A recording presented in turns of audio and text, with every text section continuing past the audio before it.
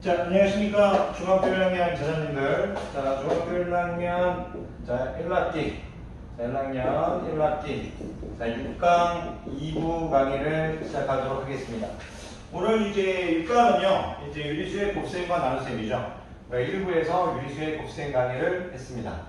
이제 곱셈을 좀 편하게 하기 위해서요, 이제 세 가지 법칙을 가르칠 겁니다. 세 가지 법칙은 뭐냐면, 이제 곱셈에 이제 교환 법칙, 이제 결합 법칙, 이제 분배 법칙입니다. 이제 교환과 결합 분배 법칙 강의에 앞서 가지고 이제 곱셈의 교환 법칙, 이제 어, 결합 법칙, 분배 법칙이 있는데 이 덧셈에서도 이제 어, 교환과 결합은 있었습니다. 어떤 이제 두 수의 이제 어, 이렇게 됐을 때 두 수의 뭐 위치를 바꾸어도 두 수의 순서를 바꾸어도 두 수의 자리를 바꾸어도 그 계산 결과가 똑같다는 게 이제 어, 교환 법칙이었고요. 결합 법칙은 뭐였냐면 어, 이런 이제 상태에서 앞에 두 수를 먼저 계산한 다음 더하나 뒤에 두 수를 먼저 계산한 다음 더하나 그 계산 결과가 똑같은 것을 이제 결합 법칙이라고 말씀드렸습니다. 보셈에서 교환 법칙도 내용은 똑같습니다. A 곱하기 B와 B 곱하기 A가 계산 결과가 똑같다는 것이 곱셈의 교환 법칙입니다. 숫자로 한다면 2 곱하기 3, 3 곱하기 2 이렇게 되겠죠. 결합 법칙도 이제 뭐냐면요. A 곱하기 B 곱하기 C 이렇게 있을 때 이렇게 있을 때 앞에 두 수를 먼저 하거나 뒤에 두 수를 먼저 하거나 똑같다 이겁니다. 뭐 숫자로 얘기한다면 2 곱하기 3 곱하기 5에서 야이를 먼저 하거나 뒤에 이제 야이를 먼저 하거나 어떻게 해도 결과는 똑같다 얘기입니다. 왜 이렇게 지금 덧셈과 곱셈을 같이 적어줬냐면요. 이제 곱셈에서는 이제 덧셈에서 없었던 분배 법칙이 추가되기 때문입니다. 이게 무슨 뜻이냐면 예를 들어서 제가 2 곱하기 이렇게 괄로 쳐놓고 3 플러스 7이라고 했다고 치면요. 물론 이거 계산하면 2 곱하기 괄로 먼저 계산하는 거니까 2 곱하기 10해서 20이 되겠죠. 그런데 이 분배 법칙 이렇게 나누어서 곱해주라는 얘기입니다. 이렇게 나누어서 무슨 얘기냐면 2 곱하기 3 해주고요. 더하기 2 곱하기 7 이렇게 해주라는 얘기입니다. 6 더하기 14에서 이게 바로 분배 법칙입니다. 뭐 조금 부연 설명을 하면요. 괄호 밖에 있던 이제 곱하기가요. 괄호 안으로 들어왔고요. 괄호 안에 있던 더하기가요. 괄호 밖으로 나왔습니다. 이게 이제 어, 여러분들이 가르쳐 주시고 분배 법칙입니다. 만약에 제가 이렇게 이렇게 이렇게 적어줬어도요. 여러분들이 2 곱하기 2 곱하기가 똑같이 있잖아요. 이렇게 묶어준다고 생각하고요. 3 더하기 7 네, 3하고 더하기 7 이렇게 적어주시, 적어주시면 됩니다. 그 분배 법칙을 선생님이 이렇게 숫자로만 얘기해버리면 보통 옳지 못하니까요. 문자로 잠깐 이제 정리해드리면 곱셈의 분배 법칙은 여러분들이 어떻게 해주시면 좋냐면요. 이렇게 해주시면 됩니다. a 곱하기 b 플러스 c라는 게 있을 때 a 곱하기 b 이렇게 해주고요. 이렇게 일단 해주시면 됩니다. 그런데 이게 만약요 이런 식으로 돼 있어도요 이런 식으로 어, 뒤에 돼 있어도 이렇게 곱해주는 건 똑같습니다.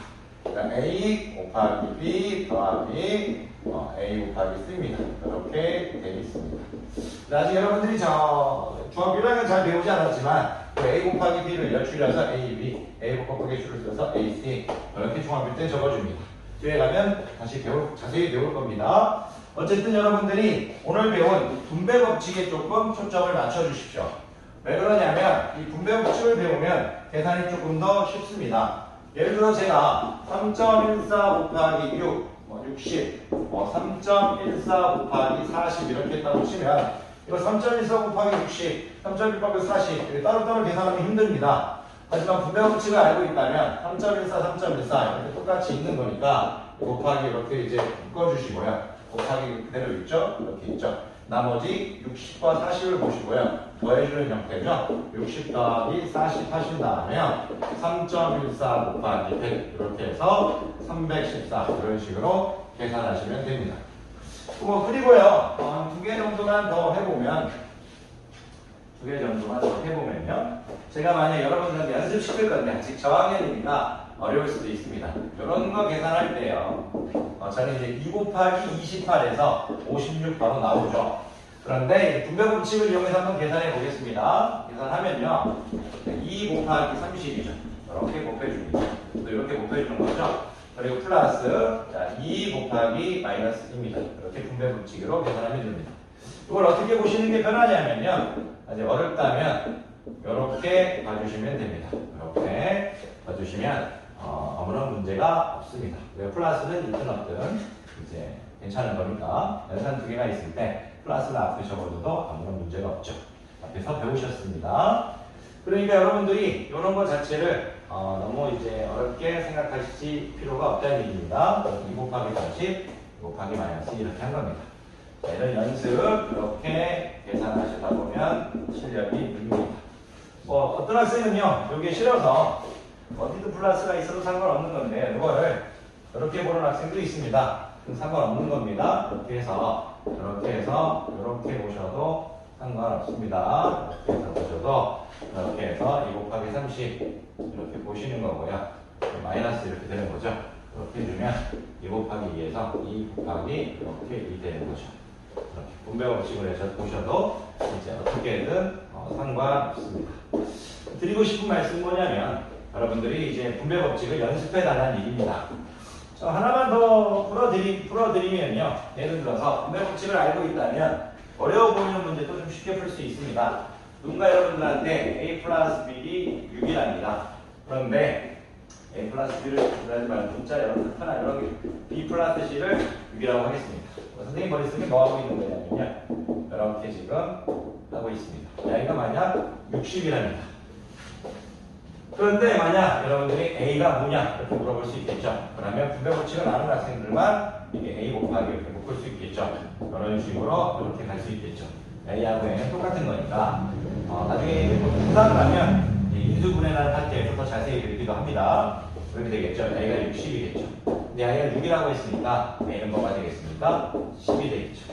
이런 식으로 여러분들이 어, 오늘 배운 이제 교환 법칙, 결합 법칙, 분배 법칙 잊지 않으셨으면 좋겠습니다. 자, 강의 듣느라 고생이 많으셨고요. 3부에서는 나눗셈 강의하도록 하겠습니다. 강의 듣느라 고생 많으셨습니다.